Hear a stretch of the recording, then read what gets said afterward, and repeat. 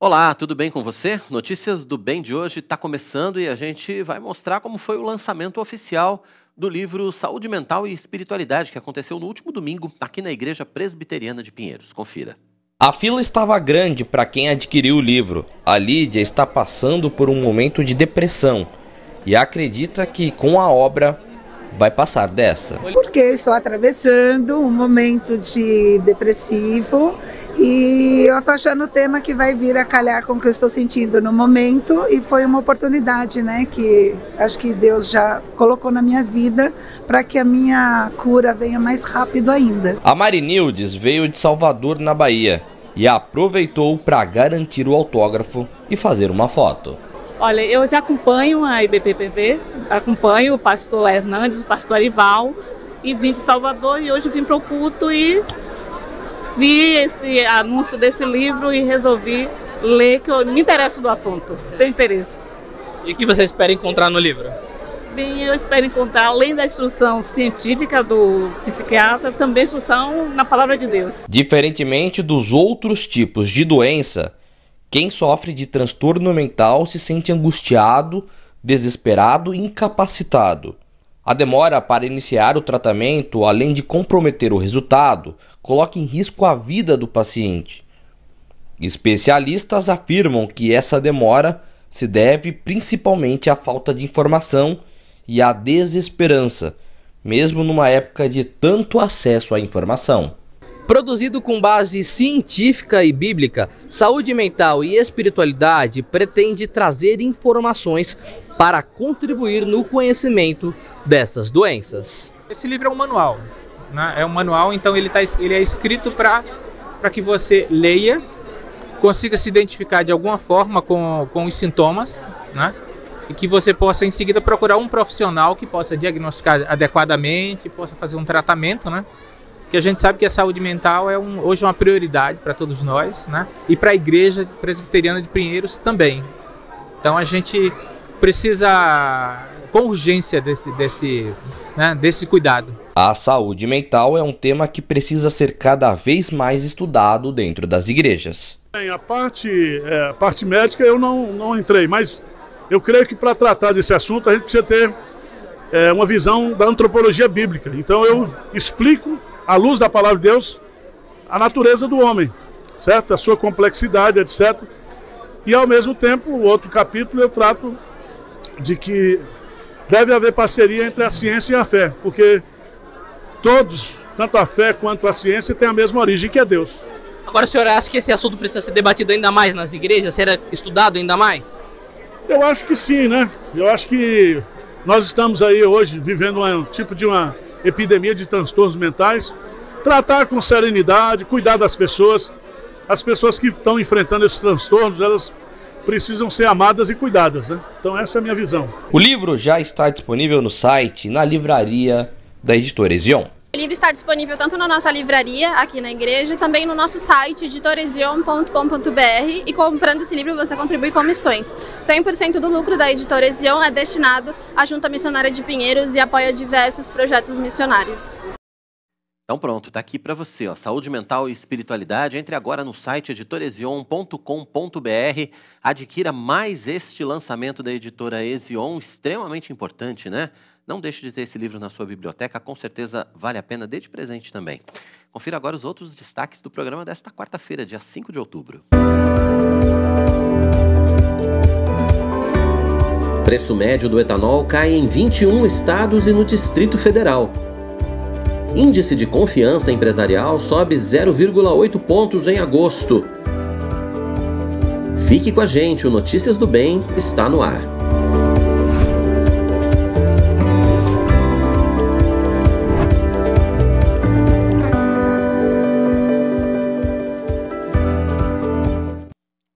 Notícias do Bem já está começando, né? Já começou e que bom que você está com a gente aqui acompanhando a nossa programação. Seja muito bem-vindo, você que estava com a gente nas lives durante a manhã, você que estava acompanhando a nossa programação da manhã, você que assistiu aí o Vitor Quevedo e o nosso Palavra e Viola, que bacana, você que esteve com a gente no Vida Devocional, no Tudo Mais Só coisa boa para você aqui na nossa IPP TV. Seja bem-vindo. Você que também está chegando agora nas nossas lives, é muito bom poder contar com a sua companhia, muito bom poder contar com a sua participação aqui no nosso Notícias do Bem. Mesmo recado para você também que está com a gente nas rádios parceiras. Está nos ouvindo pela Rádio Rumo ao Sertão de Mossoró, no Rio Grande do Norte, para todo o Brasil, para todo mundo. Você que está nos ouvindo também pela Rádio Pinheiros. Que bom poder contar com a sua companhia. A gente tem muita notícia boa preparada para você. Vamos começar, né? Preço médio do etanol hidratado caiu em 21 estados e no Distrito Federal, de acordo com o levantamento da Agência Nacional do Petróleo. Nos postos pesquisados pela ANP em todo o país, o custo do combustível recuou 1,75% em relação à semana anterior. Foi de R$ 3,43 para R$ 3,37 o litro em média. Aqui em São Paulo, principal estado produtor, consumidor e com mais postos avaliados nessa pesquisa da ANP, a cotação média caiu de 1,20, a cotação média caiu 1,23% na semana. Então, o preço do litro do etanol fechou em R$ 3,21. E hoje você continua acompanhando com a gente a nossa série de reportagens especiais sobre a Copa do Mundo e os títulos da seleção brasileira. É hora de falar do tricampeonato em 1970 no México. Confira um trechinho do que vem por aí no Notícias do Bem. Pela nona vez, o Brasil disputava mais uma Copa do Mundo. Classificado em primeiro nas eliminatórias, o grupo do Brasil era composto pela atual campeã Inglaterra, Romênia e a tão conhecida Tchecoslováquia. Naquela edição, o Brasil possuía um esquadrão, o chamado Time de 70, eleito pela revista World Soccer a melhor seleção de todos os tempos. Jogadores como Pelé, Tostão, Rivelino, Gerson, Jairzinho compunham aquele time. Na fase de grupos, diferente das outras edições, o Brasil venceu todos os jogos, mas não foi tão fácil assim. Na primeira partida contra os tchecoslovacos, o Brasil saiu atrás e teve que virar o placar. Este jogo ficou marcado por um lance que ficaria conhecido como o gol que o Pelé não fez, o famoso chute do meio de campo. Trocam bem a bola os jogadores tchecos. A sobra é para Pelé, que resolve tentar enganar o goleiro. E quase, quase, quase, quase. A seleção ainda venceria as duas outras partidas restantes e se classificaria para as quartas de final contra o Peru. Passando fácil pelos peruanos, o Brasil enfrentaria o Uruguai, equipe na qual havia perdido em 1950, aqui mesmo no Brasil.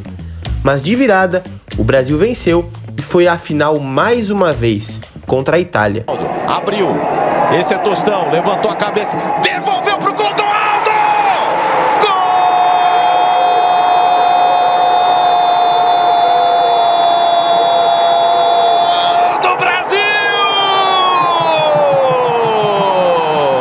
enfia. Jairzinho apostou corrida, matou-se, ficou, Jair bateu!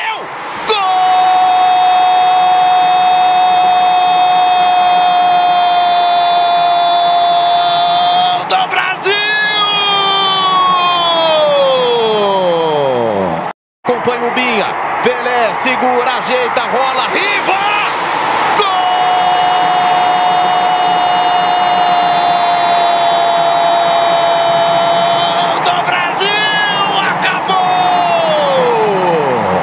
No Estádio Azteca, no dia 21 de junho, mais de 107 mil pessoas estavam presentes para acompanhar o grande evento. Detalhe para essa final é a transmissão, onde pela primeira vez na história a televisão transmitiu uma partida de futebol em cores. E na partida, o Brasil venceu os italianos por 4 a 1, com o último gol do capitão Carlos Alberto Torres num passe de Pelé, uma pancada do lateral direito estufou as redes. Bola entregue na direção de Clodoaldo, dribla um, dribla dois, é o epílogo de uma festa verde amarela. Bola para Rivelino, Rivelino para Jair, correu pela ponta esquerda, fraiu Paquete, passou por ele, lança a pelota Pelé, Pelé dominou, Carlos Alberto está livre, correu, Carlinhos, atirou, gol!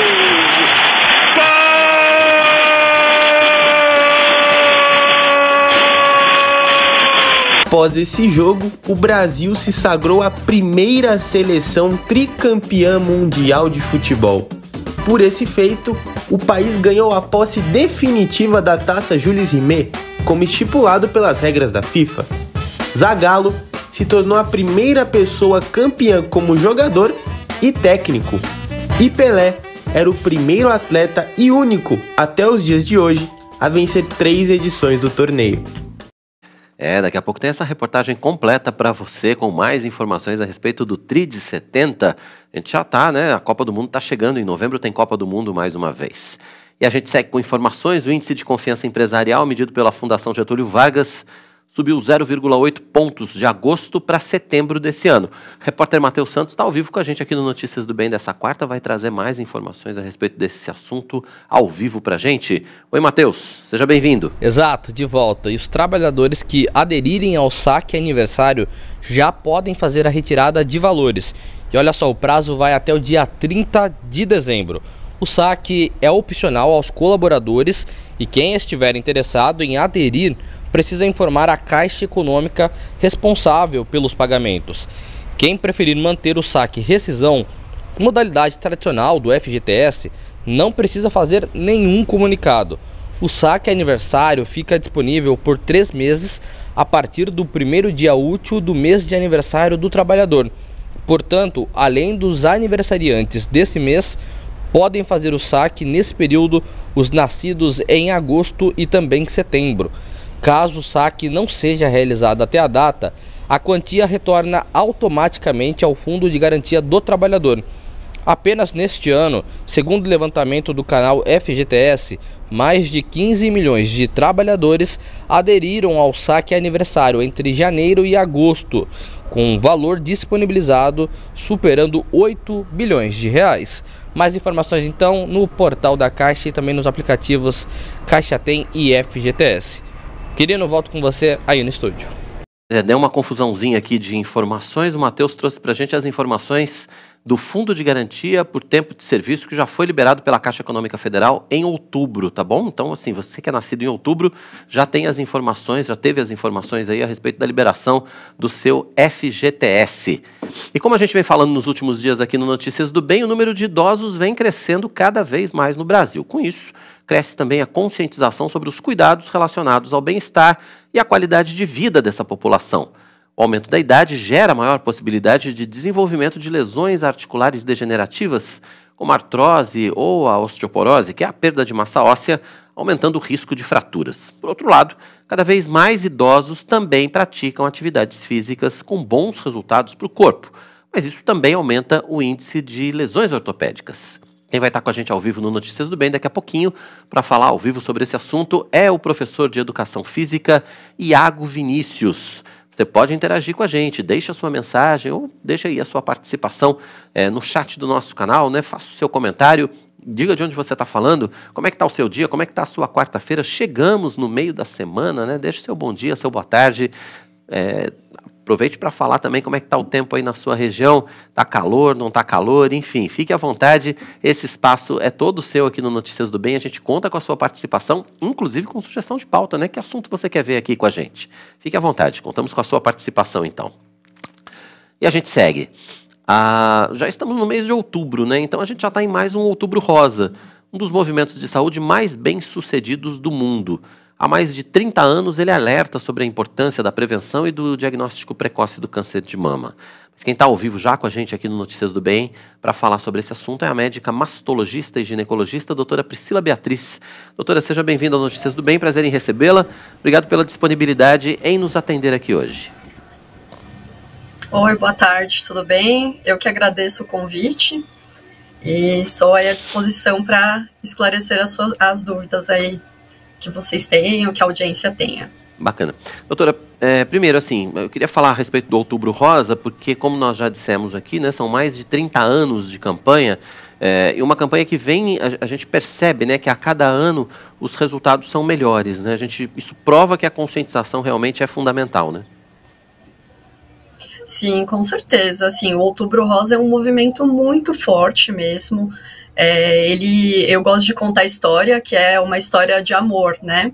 Porque o, o Outubro Rosa surgiu como um movimento de uma fundação chamada Susan de Komen, A Susan foi uma mulher que teve câncer de mama muito jovem, com 33 anos, e ela acabou falecendo. E a irmã dela prometeu que faria de tudo para tentar ajudar a encontrar a cura para o câncer de mama. E então a, a, essa fundação começou a promover corridas pela cura do câncer de mama. E em 1990, na, na primeira corrida de Nova York, eles distribuíram lacinhos rosa para as participantes da corrida. E isso foi ganhando força, foi um movimento que foi é, se espalhando nas outras corridas, começou-se a distribuir também, e começou-se a iluminar os, os grandes monumentos é, famosos no mundo na cor rosa, então esse movimento foi ganhando o mundo, né? Então, hoje em dia, Outubro Rosa, em qualquer lugar do mundo que você falar, as pessoas sabem o que, que é, né? E o câncer de mama, assim, é uma doença muito. É, que acomete muito as mulheres, né? O câncer que mais acomete as mulheres. Então, é o primeiro em mortalidade também. Então, é importante a gente falar sobre isso, porque a gente quer descobrir bem cedo para ter maior chance de cura.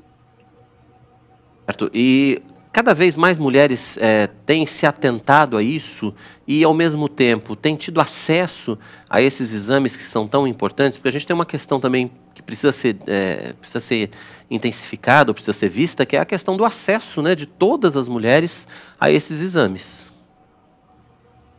Sim. É, assim, um, a gente tem tido cada vez mais aderência, né, porque a, as pessoas ouvem falar, então até tem algumas mulheres que falam que se sentem até angustiadas, porque se fala tanto de câncer de mama no mês de outubro que elas ficam com medo. É, a gente, infelizmente, ainda tem muita discrepância entre quem depende da saúde pública e quem é, depende da saúde privada, de convênio, né? Então, por exemplo, né, a recomendação é, da Sociedade Brasileira de Mastologia, Sociedade Brasileira de Ginecologia e Obstetrícia, é que seja realizada a mamografia anual a partir dos 40 anos. E assim, sem data para parar. Né, até que a mulher tenha aí uma expectativa de vida aí de 5 anos, continua fazendo. Só que o Ministério da Saúde recomenda a mamografia a cada dois anos, entre os 50 e os 69 anos. Então, assim, a gente ainda tem essa discrepância, infelizmente, né? A Sociedade Brasileira de Mastologia tem tentado brigar para convencer, né, que Regressiva o SUS também forneça. Tá certo. É, e aí, doutora, uh, quais, qual é a orientação, então, ideal para as mulheres? É que elas façam esses exames anualmente, é isso mesmo?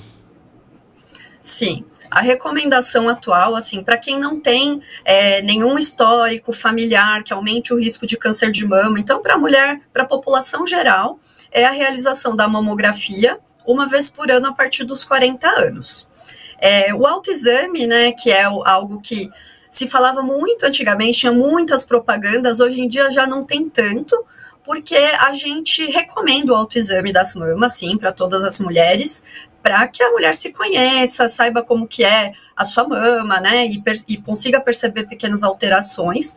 Só que pensando em realmente prevenção, em descobrir o câncer de mama mais cedo, a mamografia é mais importante, porque ela consegue detectar é, lesões muito pequenas antes delas serem palpáveis. O que a gente só detecta no toque já são nódulos maiores que um centímetro, então a gente quer detectar coisinhas microscópicas. Então, o importante realmente é fazer esse exame de mamografia todos os anos, né? As mulheres a partir de que idade, doutor? Tem Sim. uma idade é, para que isso comece? É, mulheres que que tem casos é, de, de câncer de mama na família precisam começar antes? Qual é a orientação? A, a idade recomendada para quem não tem caso, para a população geral, é 40 anos. Para quem tem casos na família, aí vai depender, né? Porque se, se, são parentes de primeiro grau ou não. Então, o histórico que é mais importante para a gente, que a gente fica mais de olho aberto de poder estar relacionado a alguma mutação genética na família, são parentes de primeiro grau, que são pais, irmãos ou filhos com câncer de mama antes dos 50 anos. Então, caso tenha algum caso na família, às vezes, às vezes tem assim, ah, a avó teve câncer com 70 anos. Isso não aumenta o risco daquela mulher, porque a avó já é parente de segundo grau, e quanto mais idosa a mulher, mais chance ela tem de ter câncer de mama. Agora, se é num caso de uma mulher jovem, a gente fica um pouco mais preocupada. Então, assim, em linhas gerais, caso uh, a idade que a mulher deve começar essa, essa, esse rastreamento seria 10 anos antes da idade que a mulher mais jovem teve câncer na família. Então, vamos supor que a mãe da mulher teve câncer de mama aos 42. Ela deve começar a fazer esse acompanhamento com mastologista aos 32, que seria 10 anos antes da idade que a mãe teve o câncer de mama. Perfeito. E, doutora, fica óbvio, né, assim, o que a gente sempre reforça, né? Quanto mais cedo é, for identificada a doença, mais chances de cura. Sim, isso é, é uma coisa que a gente bate muito, muito na tecla, né? É, quanto antes for descoberto, maiores as chances de cura. Né? Inclusive, assim, a mamografia, é, os estudos mostram que ele reduz, que ela leva a redução de até 30% da mortalidade por câncer de mama. Porque eu consigo descobrir lesãozinha tão pequenininha que eu já faço um, um tratamento menor, menos complexo e tenho muito maior chance de, de descobrir, a, de, de levar a paciente à cura. Mais tempo a gente descobre, é, os casos podem efetivamente ficar piores, né, doutora? É, é preciso lembrar que, assim, apesar de é, toda, toda, toda a evolução científica que nós tivemos, todo o avanço da medicina em relação ao tratamento de câncer, a, ainda é uma doença muito grave, então por isso a prevenção precisa ser feita de maneira responsável, né?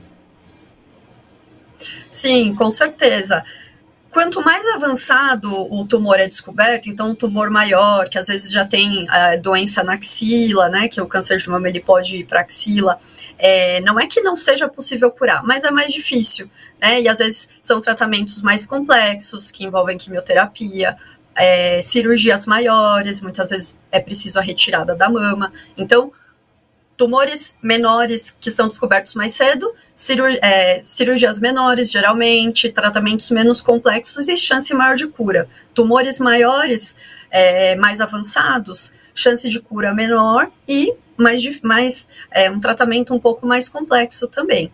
Então, é, e assim, importantíssimo, né? Muitas mulheres às vezes pensam, ah, eu já faço autoexame, eu, eu palpo, não sinto nada, então eu, eu tô livre, eu não preciso fazer mais nada. E não, o autoexame, ele não exclui que a mamografia seja realizada, justamente pelo que eu já falei, né? A gente descobre coisinhas microscópicas na mamografia. Uh, existe alguma forma de prevenção ao câncer de mama? Uh, existe uh, um, um, uma linha que diz que as mulheres que amamentam têm menos chances. Isso é mito? Isso é verdade? As mulheres podem fazer alguma coisa para evitar o câncer de mama no seu dia a dia? Sim. Sim, a gente fala assim, a, o câncer de mama é uma doença multifatorial, então não existe uma causa única. É, existem fatores de risco modificáveis e não modificáveis. É, entre os modificáveis são coisas que a gente pode fazer alguma coisa. Então, é, não fumar, consumir o mínimo possível de bebidas alcoólicas, é, evitar obesidade, porque essas coisas aumentam o risco de câncer de mama, né? Então, bebida alcoólica, cigarro, obesidade. É, a prática de atividade física também ajuda a reduzir o risco de câncer de mama. E existem os fatores, e amamentação, né, que, que conforme você disse, é, mulheres que, que têm uma gestação que chega até o final e que amamentam, elas têm um fator protetor para o câncer de mama. É, quem menstrua mais cedo tem um, um fator, é um fator de risco para câncer de mama e quem entra na menopausa mais tarde também, porque essa mulher ela está por mais tempo sob a ação do, do hormônio estrogênio. Então, quanto mais ela tem ação do hormônio, ela tem, acaba tendo um risco um pouco aumentado do câncer de mama. Mas pensando em proteção, atividade física, uma alimentação saudável, não fumar, não ingerir bebidas alcoólicas. Ah, esse, esse, esse tripé né, de, de, de, evitar a bebida, de evitar o cigarro, de fazer atividade física, é, enfim, é, ele serve basicamente para a nossa saúde como um todo, né, doutora? É, alimentação, Sim, tem, alguma, é, tem alguma indicação de alimentação também ou não? Sim, é, assim, em, em linhas gerais, uh, aquela coisa de descascar, descascar mais e desembalar menos, né? Então, é, alimentação, uma alimentação mais balanceada, baseada mesmo em legumes, vegetais e carnes, evitar os industrializados, é, farinhas brancas, açúcar, são coisas que é, farinha branca e açúcar devem ser evitados e evitar e, e evitar não. E ter uma alimentação mais saudável, baseada mais em coisas naturais. Já disse também, né? Obesidade também pode ser é, um fator de risco, então a alimentação é, saudável, né, uma alimentação equilibrada, com certeza ajuda a manter também o corpo em forma. Doutora, queria que a senhora deixasse seus contatos, quem quiser ter mais informações a respeito do seu trabalho, dicas também, a gente sabe que hoje as redes sociais são importantes, né, são, são, são vitrines aí da, da para que possam ser dadas informações a respeito das doenças e a respeito do trabalho que vocês desenvolvem. Deixa suas redes com a gente, doutora. Sim. Bom, eu tenho o Instagram, que é o arroba doutora Priscila Beatriz, é DRA, Priscila com SC e um L só e Z no final. Então, arroba doutora Priscila Beatriz, eu deixo lá bastante dicas de, de mastologia, de ginecologia, e lá tem o contato também do, do meu consultório. E muito obrigado pelo muito obrigada pelo convite e mulheres, vamos vamos nos ajudar, hein? É, se você está na idade aí de já fazer mamografia anual, faça seus exames, lembra aí sua, sua irmã, sua mãe, suas amigas. Vamos lutar juntas aí contra essa doença. Na tela aí os contatos, né? Doutora Priscila Beatriz, com Z no final. Você pode entrar em contato com a doutora, vai Isso. ter mais informações com toda certeza. Doutora Priscila, obrigado pelas informações. Foi um prazer recebê-la aqui no Notícias do Bem, viu? Volte sempre. Muito obrigada pelo convite, viu? Boa semana para vocês. Tchau, Obrigado. tchau. Ok, muito obrigado. Tá aí a médica mastologista e ginecologista, doutora Priscila Beatriz, conversando com a gente aqui no Notícias do Bem a respeito do Outubro Rosa. Sempre vale, né, esse alerta com toda certeza. E agora é hora de mais uma dica da nossa editora Ezion. Vamos conhecer mais a respeito do livro Somente pela Graça, escrito por Charles Spurgeon. Confira. Somente pela Graça de Charles Spurgeon é o mais novo lançamento da editora Ezion. É muito comum encontrarmos crentes que amam a Cristo mesmo sem ter a clareza da salvação pela graça. Com isso, eles também não conseguem compartilhar essa mensagem com outras pessoas. Neste livro, Spurgeon mostra que tudo o que precisamos fazer é apresentar o Evangelho de forma clara e acessível, e o poder de Deus fará seu trabalho na salvação do indivíduo.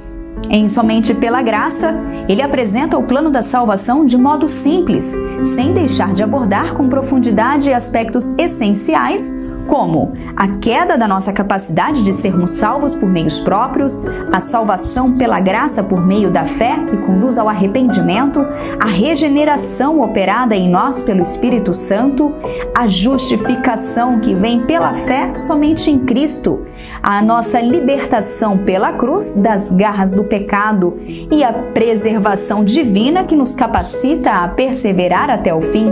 Visite a livraria Ezion na Igreja Presbiteriana de Pinheiros ou acesse agora mesmo o site www.editoresion.com.br e adquira o livro Somente pela Graça. Ezion, a sua editora missionária. E olha só, além desse Somente pela Graça, né, de Charles Spurgeon, a livraria e a editora Ezion vai estar lançando nesse fim de semana mais uma obra do Spurgeon, tá bom? Amanhã a gente vai mostrar para você, vamos falar mais a respeito desse livro. Amanhã a, a gente vai trazer mais informações para você, mas tem mais um lançamento do Spurgeon nesse fim de semana, aqui pela nossa livraria e editora Ezion. O site está aqui para você, www.editorezion.com.br.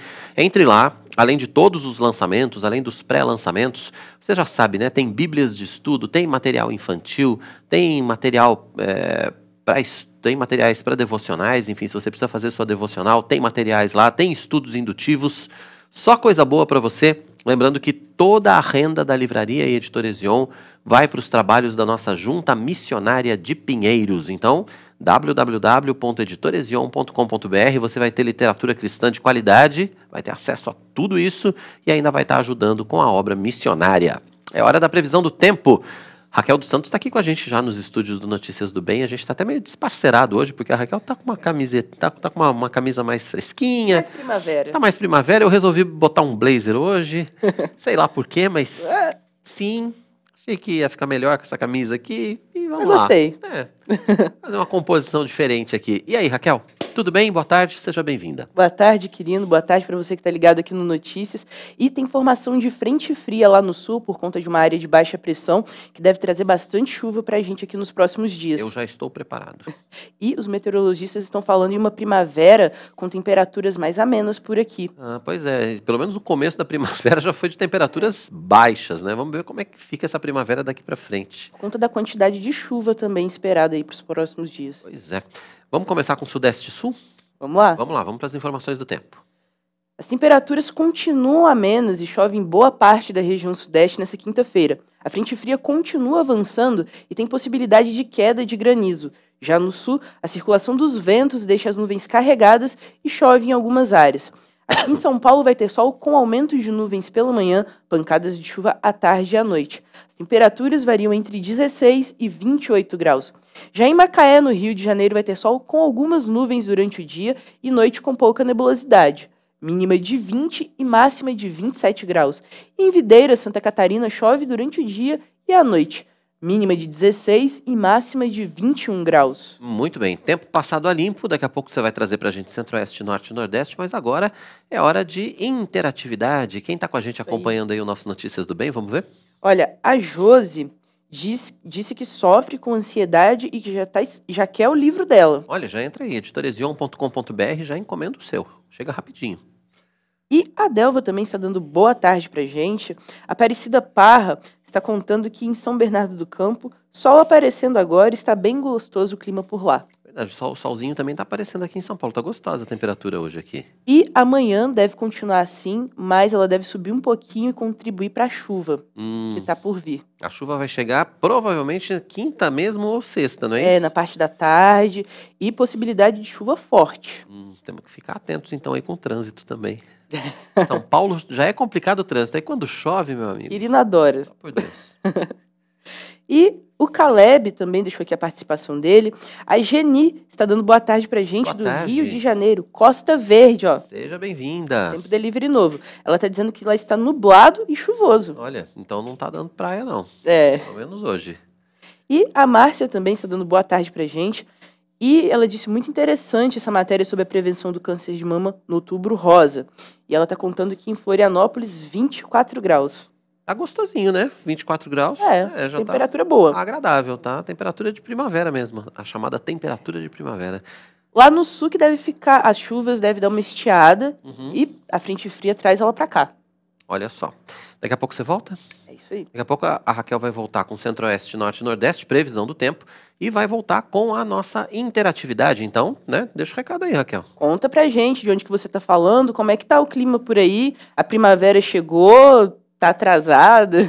Quem sabe, né? Daqui a pouquinho a gente gente. volta, então. Até já, Raquel. Até já. Até já. Raquel volta daqui a pouquinho, porque agora é hora da nossa coluna Pelos Campos, JMP, com o reverendo Mariano Alves Júnior. Hoje ele leva a gente para a jornada missionária em Piquet Carneiro e Iguatu, lá no interior do Ceará. Confira.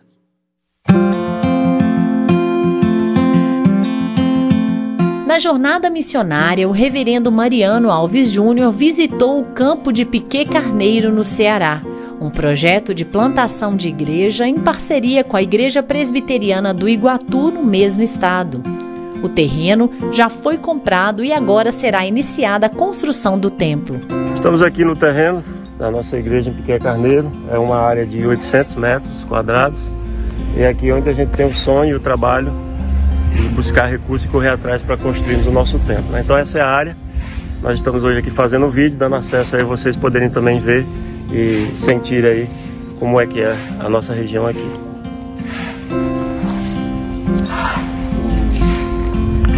Esse é um projeto que faz parte do 105 Brasil. O reverendo Moisés é o obreiro local e está determinado a prosseguir com a consolidação do trabalho. Sou o pastor Moisés Dias, trabalho aqui em Piquet Carneiro, no estado do Ceará, no interior do estado. Estamos aqui nesse campo há alguns anos, hoje recebendo com alegria a visita do reverendo Mariano, está vindo conhecer a nossa estrutura e o nosso trabalho aqui. Estamos com perspectivas muito boas, graças a Deus temos retomado a caminhada nesse trabalho do ano passado para cá. A Junta de Pinheiros entrou, nos ajudando com parceria. E esse ano temos desenvolvido um trabalho muito bom, recebendo inclusive novas pessoas, frutos de evangelismos e discipulados que temos feito aqui nesta cidade, nas casas das pessoas. Então estamos muito alegres com Deus e gratos ao Senhor.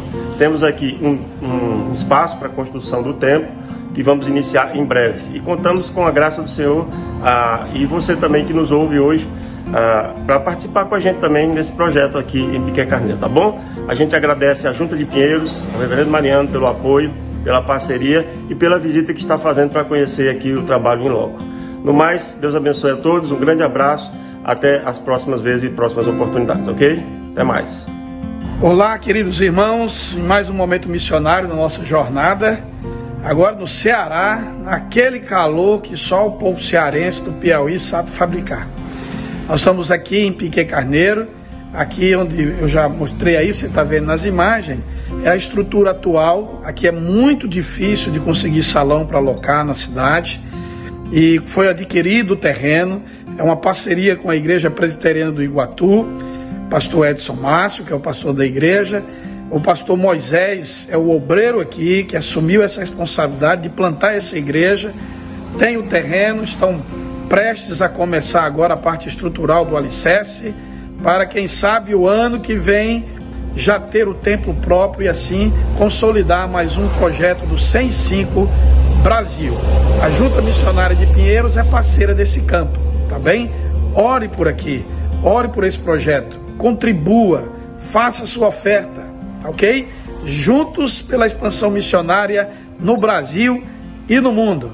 Em seguida, o reverendo Mariano foi a Iguatu, também no Ceará, onde se reuniu com o conselho da igreja para as tratativas do início da obra em Piquet Carneiro, no mesmo estado. O reverendo Edson Márcio, pastor da igreja e presidente do Sínodo, e seus presbíteros empenharam sua palavra com a JMP, reforçando a bênção que é ter o apoio da IPP e se alegrou em repetir as palavras do reverendo Mariano. Só coisa boa. Val, Junta de Pinheiro, estou aqui, ó, Igreja do Iguatu, pastor Edson Márcio, os presbíteros aqui, pastor Moisés, obreiro nosso lá da parceria lá em Piquet Carneiro, tratando aqui do início da obra da construção do templo lá em Piquet Carneiro. Então pedimos aí a todos que estejam orando, que a junta missionária possa mais uma vez com essa igreja parceira trabalhar para promover a construção de mais um templo no estado do Ceará, ok? Tchau, tchau. Fiquem com Deus. Um abraço. Só coisa boa! E falando em só coisa boa, a gente tem um recado muito especial para você que quer decorar sua casa com todo o requinte e a sofisticação que só os móveis planejados da Finger podem trazer para você. São acabamentos diferenciados, pensados especialmente para o seu conforto e para a funcionalidade do seu espaço. Na Finger, o seu projeto é personalizado de verdade. A tecnologia exclusiva e a precisão alemã garantem customização única. Fique de olho. Fundada em 1978, a Finger Móveis Planejados tem inovação em sua vocação. Traz garantia de oito anos graças ao seu moderno Parque Fabril localizado no Rio Grande do Sul. A nossa loja está localizada no Portal do Morumbi e conta com 400 metros quadrados de showroom com diversos ambientes para você se inspirar. Nossa equipe é altamente treinada, formada por arquitetos e design de interiores, prontos para transformar ambientes e te surpreender. Temos o compromisso de transformar ambientes para o bem-estar das pessoas, com projetos inovadores e a tradição que já dura mais de 40 anos. Nossos projetos são exclusivos, feitos para atender todas as suas expectativas. São pensados para a usabilidade e função do seu espaço, além de privacidade, relaxamento e bem-estar. Transformamos seus sonhos em realidade. Nos sigam nas redes sociais. Traga sua planta e se surpreenda. Entre em contato com o time de especialistas da Finger, solicite seu orçamento, acesse www.fingermorumbi.com.br. Tem Instagram para você visitar também, se apaixonar pelos espaços projetados pela Finger, arroba Fingermorumbi. Visite lá e siga. Tem WhatsApp também, 011 99018 7891. Finger Morumbi é a sua melhor opção em imóveis planejados, você já sabe. Vamos para o intervalo? Daqui a pouquinho a gente vai estar de volta para você acompanhar com a gente a nossa série de reportagens especiais sobre a Copa do Mundo e os títulos da seleção brasileira. E ainda o aumento da idade gera maior possibilidade de desenvolvimento de lesões articulares degenerativas. Por outro lado, cada vez mais idosos estão praticando atividade física com bons resultados para o corpo, mas também tem o perigo das lesões ortopédicas, né? Quem vai participar do Notícias do Bem para falar ao vivo sobre tudo isso é o professor de Educação Física Iago Vinícius. Você quer interagir com a gente? Quer participar? Fique à vontade, esse espaço é todo seu. Faça a sua pergunta, deixe seu comentário, deixe sua sugestão de pauta, diga de onde você está falando, como é que está o tempo na sua região. Daqui a pouco tem mais previsão do tempo, daqui a pouco tem mais notícias do bem. O intervalo é rápido e a gente volta já, não saia daí. Conheça o curso Discípulos de Jesus do EAD Pinheiros. O grande desafio do nosso tempo é que a igreja do século 21 enfrenta a falta de treinamento de discipulado. As igrejas estão cheias de frequentadores que nunca foram ensinados e, se foram, não obedecem aos princípios elementares da fé cristã. Neste curso, o reverendo Arival Dias Casimiro vai mostrar a importância de darmos ferramentas adequadas para que toda a Igreja de Cristo cumpra seu chamado ao discipulado. Esse é o grande desafio da igreja evangélica hoje. Não é fazer membros ou tornar membros de igreja, mas membros que de fato estejam comprometidos né, com é, o discipulado, em seguir a Jesus, em imitar a Jesus, em ser igual a Jesus. O EAD Pinheiros é uma iniciativa da Junta Missionária de Pinheiros e todos os recursos arrecadados são revertidos para missões no Brasil e no mundo. Acesse o link ippinheiros.org.br barra EAD Pinheiros e saiba mais.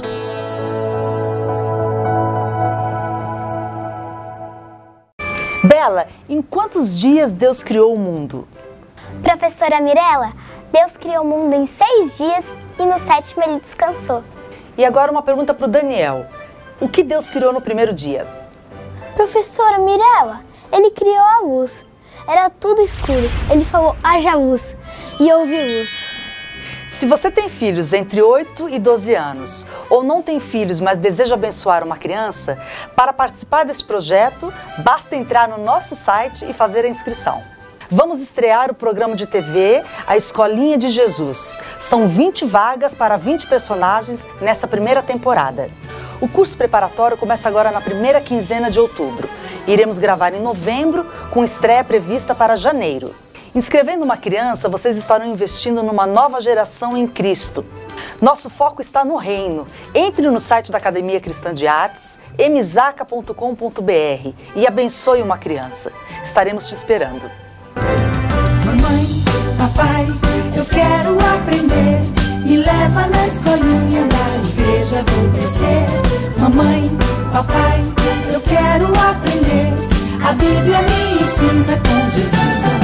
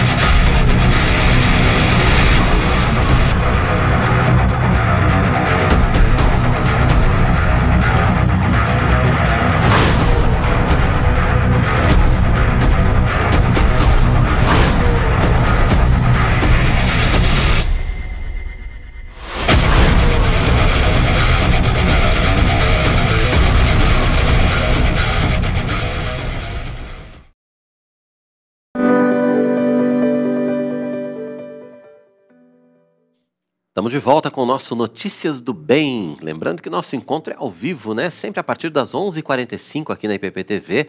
E a gente tem horário alternativo às 18h45. Você é sempre muito bem-vindo. Aliás, se você ainda não é inscrito aqui no nosso canal, por favor, faça sua inscrição agora. Ative o sininho para receber todas as notificações.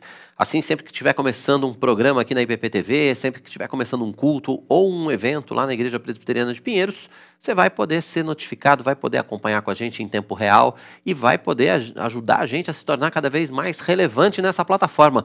Passamos de um milhão de inscritos graças à sua participação e a gente precisa chegar em um milhão e meio, hein? Estou contando com a sua participação, estou contando com a sua inscrição e com o seu compartilhamento. Compartilha com a família, com os amigos, compartilha com todo mundo aí o link do nosso canal, tá bom? A gente segue de notícia. A queda do preço internacional do ferro e o encarecimento de fertilizantes e petróleo colaboraram para o superávit da balança comercial brasileira em setembro. No mês passado, o país exportou mais de 3 bilhões de dólares a mais do que importou, segundo o Ministério da Economia. De janeiro a setembro desse ano, a balança comercial acumula superávit de mais de 47 bilhões de dólares. O saldo é o segundo melhor da história para o período, perdendo apenas para os nove primeiros meses de 2021. E a gente tem mais um recado especial para você aqui no nosso Notícias do Bem. É, agora eu quero apresentar algo que pode realmente transformar ou dar um novo visual para o seu ambiente. Uma das coisas que nos ajudam a ter esse conforto é estar num ambiente aconchegante, bonito e confortável. E é por isso que as tintas da Quali Vinil são indispensáveis se você está precisando remodelar o lugar onde você trabalha, onde você mora ou onde desenvolve coisas novas. Não importa, a vontade é sua. A Quali Vinil, além de produzir tintas da melhor qualidade, pode ser encontrada muito facilmente numa loja pertinho da sua casa ou aqui no site, ó, www.qualivinil.com.br. Então você já sabe, né? Inspire-se, transforme, decore, use Qualivinil. E a gente segue com informações aqui no nosso Notícias do Bem. E agora sim, o Matheus Santos vai trazer para a gente todos os detalhes a respeito do crescimento do índice de confiança do empresariado brasileiro. Vamos lá, Matheus?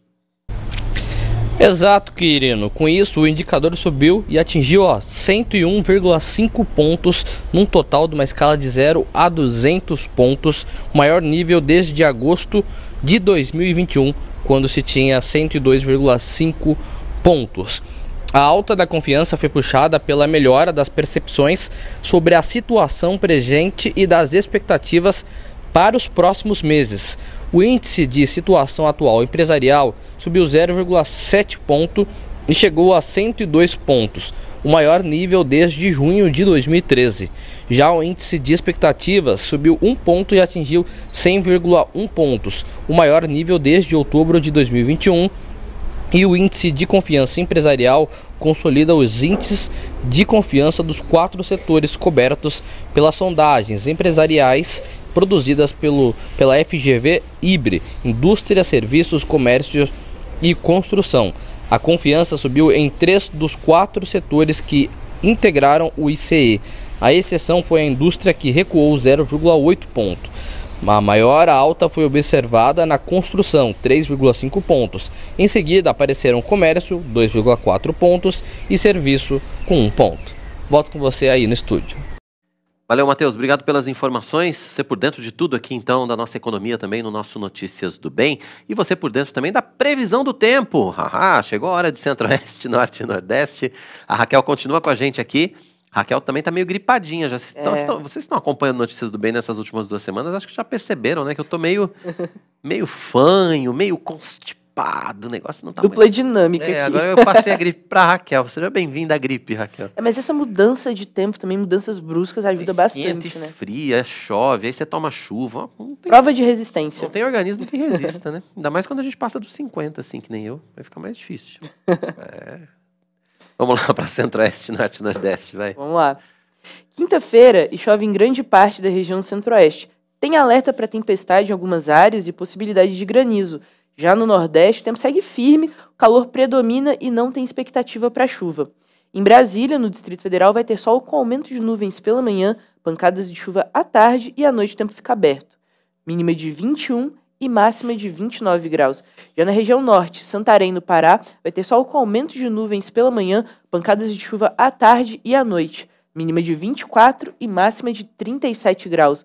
E em Ilhéus, na Bahia, vai ter sol com algumas nuvens, chove rápido durante o dia e a noite. Mínima de 25 e calorão de 39 graus. É, a terra do cacau na Bahia, é lindo lá, viu? Aliás, tem um doce de cacau lá maravilhoso, que não é chocolate, é doce de cacau. Pertinho de Itabuna, Ilhéus e Itabuna, uma cidade do lado da outra. Deve ser bom. É muito bom ali, viu? O litoral sul da Bahia. Mas é lindo esses demais. 39 graus já não sei se é tão bom assim. É bom sim, com aquela praia que tem lá. Nossa, só coisa boa. Rapidinho que o nosso tempo tá Vamos apertado, lá. vamos para as interações. A Marli Batista, de Itajubá, está dizendo que lá está calor e algumas nuvens no céu. A Clara Sueli também está contando que lá em Juiz de Fora, 23 graus. Gostosinho, temperatura de primavera. E o Bruno Melo também está dizendo, amando assistir o Notícias do Bem. Que bacana, fique sempre com a gente, estamos sempre aqui. Isso aí. E a Marli tá dizendo só coisa boa, só pegou do pastor Mariano É, também. é, é, essa frase do pastor Mariano já tá na boca de todo mundo, só coisa boa. E reverendo Marco Severo conectado Rádio Rumo ao Sertão. Grande abraço, reverendo, para todo mundo aí da Rádio Rumo ao Sertão. Raquel vai embora, mas amanhã ela volta. É isso aí. Mesmo que esteja gripada. É. Até amanhã, Raquel. Até amanhã. Até. Raquel tá de volta amanhã e você continua acompanhando a nossa série de reportagens especiais sobre a Copa do Mundo e os títulos da seleção brasileira. Vamos falar de tricampeonato. Foi em 70 no México. Veja como foi. Pela nona vez, o Brasil disputava mais uma Copa do Mundo. Classificado em primeiro nas eliminatórias, o grupo do Brasil era composto pela atual campeã Inglaterra, Romênia e a tão conhecida Tchecoslováquia. Naquela edição, o Brasil possuía um esquadrão, o chamado Time de 70, eleito pela revista World Soccer a melhor seleção de todos os tempos. Jogadores como Pelé, Tostão, Rivelino, Gerson, Jairzinho compunham aquele time. Para a gente falar de 70, é importante a gente voltar até 66. Porque 66, o Brasil vem numa crescente, numa geração vitoriosa, e aí a imprensa, né, os brasileiros começam a achar que o Brasil vai vencer tudo, né? Porque era uma geração fantástica, Pelé, Garrincha, e não entendendo que aquela geração poderia envelhecer. E foi o que aconteceu em 66. É, Foi um time envelhecido, é, a preparação foi, que a gente pode dizer, muito bagunçada, digamos assim. Você teve vários jogadores convocados, né? É, e aquilo, os treinadores não conseguiram montar uma base. Quando chega o momento para preparar para 70, é obviamente que a gente está diante de uma ditadura militar, e isso é importante naquele momento também dizer, porque tem uma interferência direta do regime, né, para poder usar a imagem da seleção brasileira para é, se o Brasil estivesse bem, eles usariam a imagem para dizer que o, o país estava bem. Se a seleção brasileira de futebol estava bem, o país estava bem. E aí o Aimoré Moreira, que era o treinador, sai, eles convidam João Saldanha, que era do Partido Comunista Brasileiro, para surpresa de todo mundo, porque ele era um crítico da, da seleção, do regime militar. E aí o, o João Saldanha, ele, ele monta essa base que ficou conhecida como as feras do Saldanha. Eles vão para as eliminatórias, ganham tudo, futebol é, vistoso, para frente, brilhante. Só que o João Saldanha era muito polêmico. Então ele começou a se envolver com muitas polêmicas pela imprensa, com a, a própria ditadura, enfim. Com o Pelé, inclusive, né? E aí ele acaba sendo demitido poucos dias da Copa, se não me engano, 75 dias antes que, que o Zagallo assume. Aí eles convidam o Zagallo, que era bicampeão como jogador, estava começando a carreira ainda de técnico. O Zagallo assume e aí dá continuidade a esse trabalho do Saldanha, mas ele também tem uma importância porque ele faz algumas mudanças na equipe que algumas pessoas tiram a importância do Zagallo desse processo, mas não, ele também tem o, o dedo, digamos assim, nessa equipe vitoriosa. Na fase de grupos, diferente das outras edições, o Brasil venceu todos os jogos. Mas não foi tão fácil assim. Na primeira partida contra os tchecoslovacos, o Brasil saiu atrás e teve que virar o placar. Este jogo ficou marcado por um lance que ficaria conhecido como o gol que o Pelé não fez, o famoso chute do meio de campo. Trocam bem a bola os jogadores tchecos. A sobra é para Pelé, que resolve tentar enganar o goleiro. E aí, quase, quase, quase, quase. A seleção ainda venceria as duas outras partidas restantes e se classificaria para as quartas de final contra o Peru. Passando fácil pelos peruanos, o Brasil enfrentaria o Uruguai, equipe na qual havia perdido em 1950, aqui mesmo no Brasil. Mas de virada, o Brasil venceu e foi à final mais uma vez contra a Itália. Abriu. Esse é Tostão. Levantou a cabeça.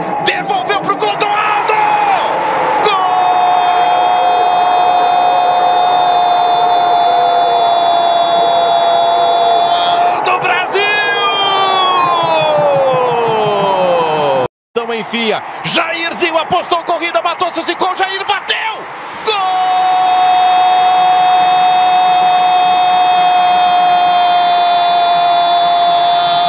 do Brasil! Acompanha o Binha. Pelé segura, ajeita,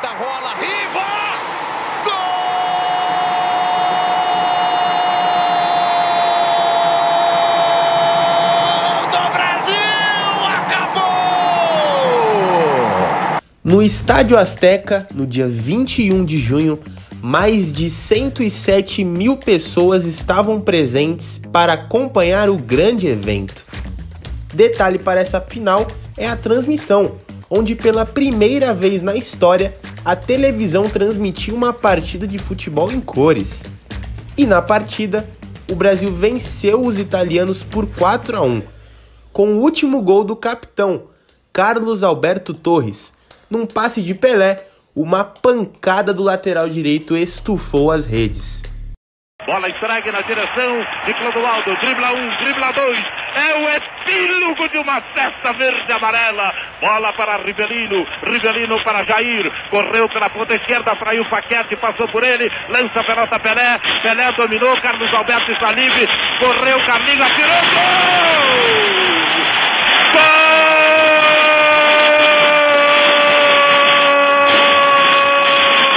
E aí nessa final, eu acho que é o ápice do futebol brasileiro. Se você for analisar e ver esse jogo, é, é uma equipe com grandes nomes. É o, o, o último grande jogo, do, é o último jogo do Pelé numa Copa do Mundo. É, Jair, Jairzinho, Tostão, Rivelino. Eles praticamente assim, aquilo ali é o que se a gente tivesse como colocar, inventar uma obra de arte do futebol brasileiro. Se fosse um quadro, esse quadro seria a pintura dos 4 a 1 sobre a Itália. Após esse jogo, o Brasil se sagrou a primeira seleção tricampeã mundial de futebol. Por esse feito, o país ganhou a posse definitiva da taça Jules Rimet, como estipulado pelas regras da FIFA. Zagallo se tornou a primeira pessoa campeã como jogador e técnico. E Pelé era o primeiro atleta e único, até os dias de hoje, a vencer três edições do torneio. Amanhã tem o Tetra nos Estados Unidos em 94, hein? E a gente tem mais um recado especial para você aqui no Notícias do Bem. Você já parou para pensar que a sua contabilidade precisa atender o padrão de Deus e também dos homens? É por isso que a Contábil Ribeiro está há mais de 35 anos servindo a igreja brasileira e missionários ao redor do mundo. Faça a contabilidade da sua igreja com a Contábil Ribeiro. Igrejas de todo o Brasil podem ter essa consultoria. Saiba mais acessando www.contabilribeiro.com.br. Contábil Ribeiro, contabilidade especializada para igrejas. E a gente segue com o nosso Notícias do Bem. Como a gente vem falando aqui nos últimos dias, o número de idosos está crescendo cada vez mais no Brasil, um fenômeno que também está acontecendo no mundo. Com isso, cresce também a conscientização sobre os cuidados relacionados ao bem-estar e à qualidade de vida dessa população. O aumento da idade gera maior possibilidade de desenvolvimento de lesões articulares degenerativas, como a artrose ou a osteoporose, que é a perda de massa óssea, aumentando o risco de fraturas. Por outro lado, cada vez mais os idosos praticam atividades físicas com bons resultados para o corpo, mas também tem que tomar cuidado, que isso pode aumentar o índice de lesões ortopédicas. Quem está com a gente aqui ao vivo no Notícias do Bem para falar sobre esse tema é o professor de Educação Física, Iago Vinícius. Iago, seja bem-vindo aqui ao Notícias do Bem. Bom te receber, obrigado por atender o nosso convite. Boa noite, pessoal. Todos, boa noite não, né? Boa tarde. Todos me escutando bem por aí? Todo mundo te escutando bem, te vendo bem, só coisa boa. Iago, conta pra gente. Quer dizer, cada vez mais a população idosa cresce no Brasil, tem cres... é um fenômeno que também está acontecendo no mundo, né? Nós estamos, inclusive, no mês né, do idoso, no mês da pessoa idosa. Isso é um bom sinal, mas é preciso ter alguns cuidados também relacionados é, à, à forma física, relacionados ao corpo, né? Quando a gente chega na terceira idade. Pois é. A gente sabe hoje que a nossa população está envelhecendo cada vez mais, né? E aí isso vai acontecendo de uma forma natural para a população, processo de desenvolvimento mesmo, e as pessoas vão desenvolvendo também alguns problemas com a saúde. Então a gente começa a trabalhar um pouco mais esses cuidados com a saúde dos pacientes para melhorar a qualidade de vida dele durante esse período dos 60 anos para cima.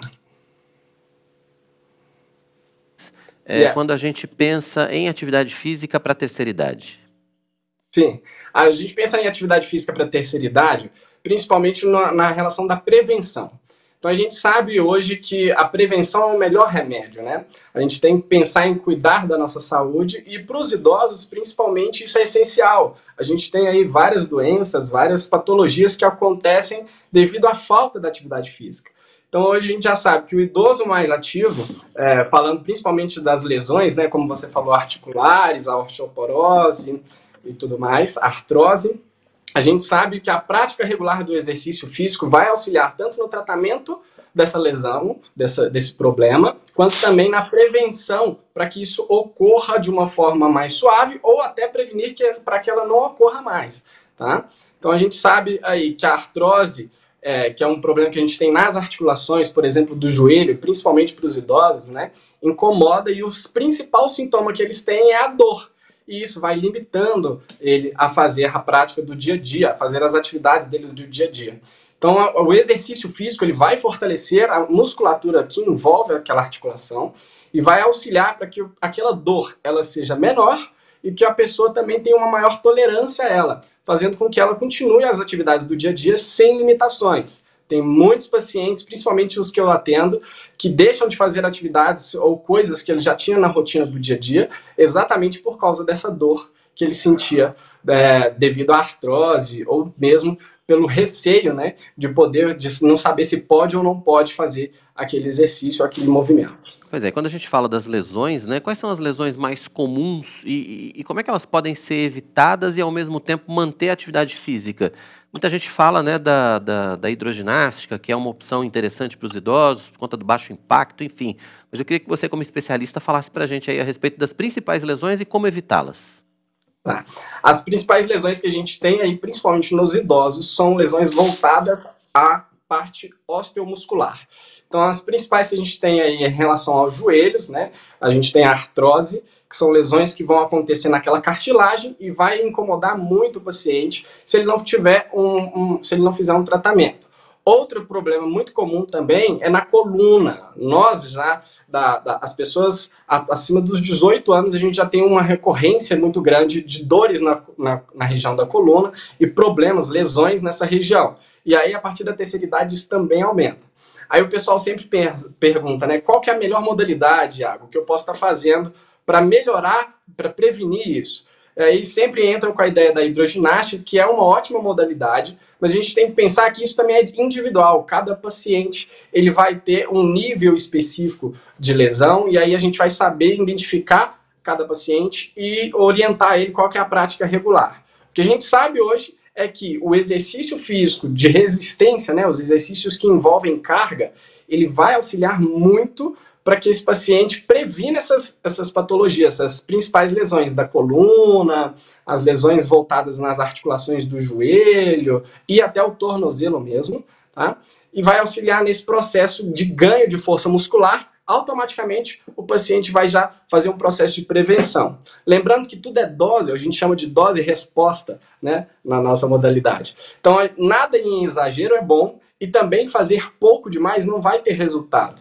Não adianta eu querer fazer uma maratona em dois dias, sendo que eu nunca treinei antes, eu nunca fiz nenhuma modalidade de atividade física, e também não adianta eu querer fazer todos os dias um percurso muito intenso, que isso também pode prejudicar a articulação, no caso da artrose e da coluna principalmente.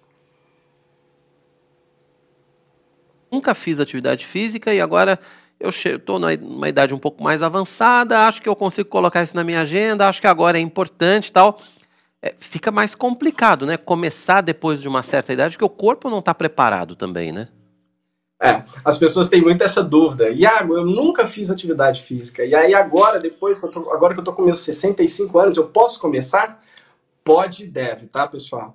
A atividade física é um remédio e ela vai auxiliar muito. O que a gente tem que pensar é como eu vou iniciar. É bom ter uma orientação de um profissional, né?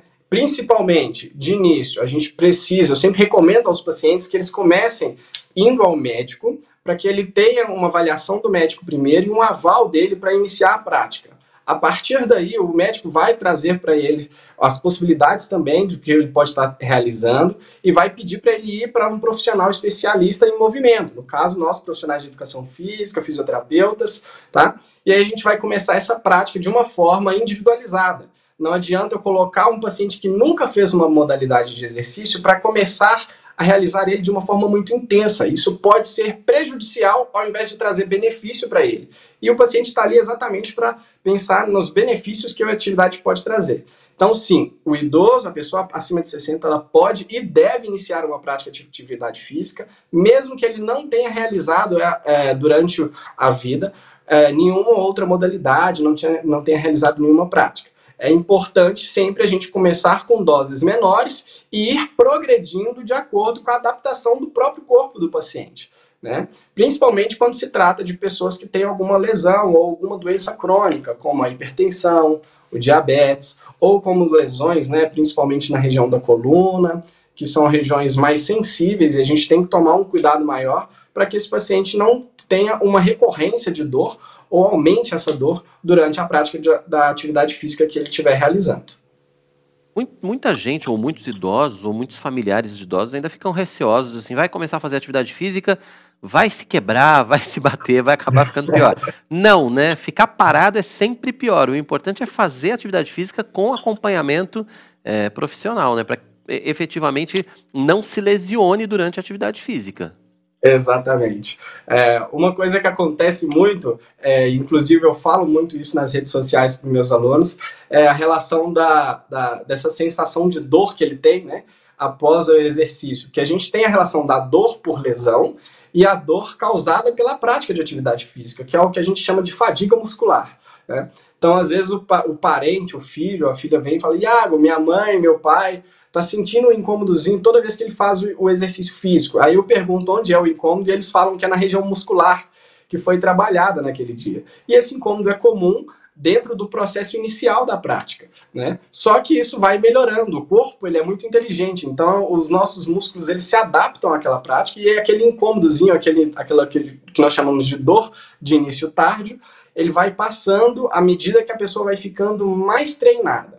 E aí a relação da, da dessa da, da, sensação de dor vai diminuindo à medida que a pessoa vai tendo isso como uma rotina da vida. É, a prática de exercício físico é uma coisa que a gente não pode parar, a gente tem que continuar porque ela vai progredindo cada vez mais e vai dando mais qualidade de vida e reduzindo principalmente as dores dos pacientes. Mesmo é ficar parado, né? Ah, os antigos, os antigos já diziam isso, né? Quando você vai ficando parado, a, a, os antigos usavam uma expressão, usavam um termo que muita gente nem conhece, vai entrevando, né? Você vai ficando entrevado na cama, você não consegue nem levantar. Quer dizer, tem que fazer, tem que fazer com acompanhamento profissional, e isso só vai fazer bem com toda certeza. Tem que só ter cuidado, obviamente, com as lesões e ter o acompanhamento médico, até se você tiver uma lesão pré-existente, se você já tiver uma artrose, se você já tiver osteoporose, os cuidados são ainda maiores, né? Exato. Principalmente nessas patologias, a gente já sabe que o exercício físico é essencial, ele faz parte do tratamento. Né? Antigamente, quando a gente estava estudando, logo no início dessas patologias, a gente entendia que o corpo deveria ficar parado, que não deveria se movimentar por risco de queda, de fratura ou por aumento da dor. E aí a gente entendeu com o passar dos estudos que é, é o contrário. Né? O exercício físico, por exemplo, na, no processo de osteoporose, para o paciente que tem o diagnóstico de osteoporose, o exercício físico ele vai ajudar a ganhar a massa óssea, aumentar essa massa óssea, ou seja, o osso do paciente vai ficar mais forte. Automaticamente, esse osso mais forte, ele tem menor chance de fratura, menor chance de quebrar. Então, a gente sabe que o exercício vai auxiliar nisso. Além disso, além da massa óssea, o exercício também vai auxiliar a musculatura que está em volta. Então, o músculo vai absorver mais o impacto, principalmente na relação das quedas. A gente sabe aí que os idosos têm um número de quedas que maior né, do que os adultos, e essas quedas podem levar até ao, ao óbito do paciente. Hoje a gente tem aí a, a queda como o segundo maior fator de mortalidade nos idosos. Então a gente sabe que isso é um problema que a gente tem de saúde pública que tem que ser tratado, né? A gente tem que pensar muito nisso. E aí o melhor tratamento que a gente tem em relação à queda são os exercícios, porque o músculo forte é um músculo mais equilibrado, é um músculo mais resistido e vai também favorecer a absorção do impacto na hora da queda, se houver essa queda do paciente. A gente aí, uh, os seus contatos, quem quiser conhecer mais a respeito do seu trabalho, quem quiser te seguir nas redes sociais, né? Como é que a gente te encontra? Vocês podem me encontrar pelo Instagram, uh, vocês podem me encontrar lá por Iago Underline, né? Que é aquele tracinho embaixo, idoso ativo. Iago tracinho idoso ativo. Lá eu vou eu tenho vários vídeos falando inclusive sobre quedas, sobre as principais lesões que os idosos têm, né? Eu vou falando um pouquinho sobre patologias, diabetes, hipertensão, tudo que o pessoal sempre tem dúvidas aí sobre o que, o idoso pode fazer e qual o benefício que o exercício traz para cada patologia. Arroba Iago Underline Idoso Ativo. Segue lá o Iago para mais informações. Iago, obrigado pela sua participação conosco aqui no Notícias do Bem. Ótimo papo, volte sempre, viu? Eu que agradeço, pessoal. O convite fica aberto aí para você. Sempre que precisar, estou à disposição. Tá certo, muito obrigado então. Aí com a gente o professor de Educação Física, Iago Vinícius, falando a respeito de atividade física, lesões, né? O, o cuidado com as lesões, mas principalmente atividade física para os idosos. Notícias do Bem fica por aqui. Obrigado pela sua companhia, pela sua participação, pela sua audiência. A gente tem encontro marcado amanhã, a partir das 11h45 da manhã, ao vivo, aqui pela IPP TV, a sua TV missionária. Lembrando que você pode ver e rever todo o nosso conteúdo no IPP Play. youtube.com.br IPP Acesse os vídeos, curta, participe, compartilhe com quem você ama, tá bom? A gente se vê amanhã, então, se